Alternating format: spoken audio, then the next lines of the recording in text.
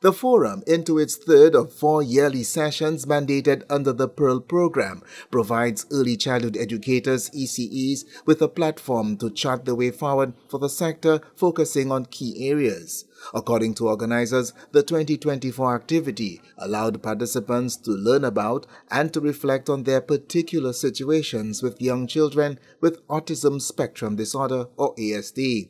The forum simultaneously took place in the four Windward Islands with some 200 early childhood educators participating via the Zoom platform.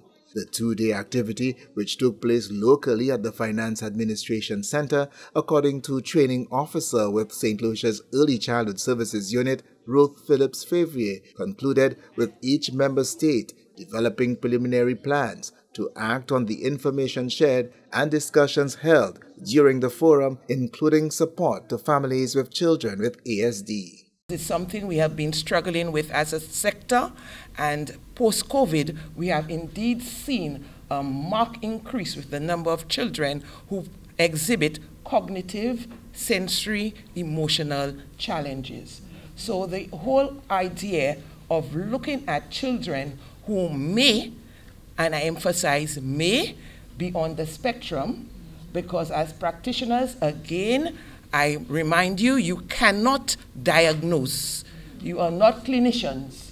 Ms. Phillips Favrier advised practitioners on the correct course of action if they ever discover students who may require special ASD attention. If you think there's a child at your center who exhibits signs, behaviors that may make you suspect the child has autism, your job is to do referrals. Do not tell the parent, oh, your child have autism, take your child. That's not your job. I emphasize that.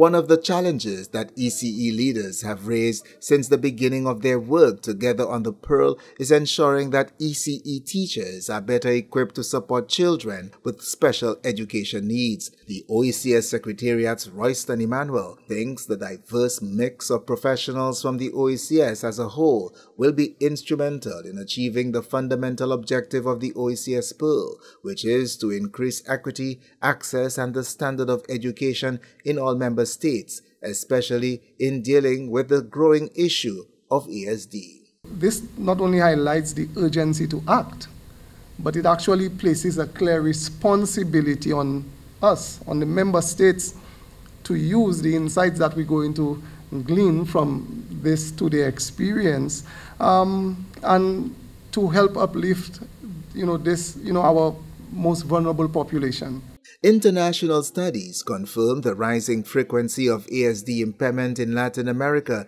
and the Caribbean grew from 1 in 10,000 children in 1943 to 15 in every 1,000 children in 2015. From the Communications Unit of the Department of Education, Innovation and Vocational Training, I am Chris Satney reporting.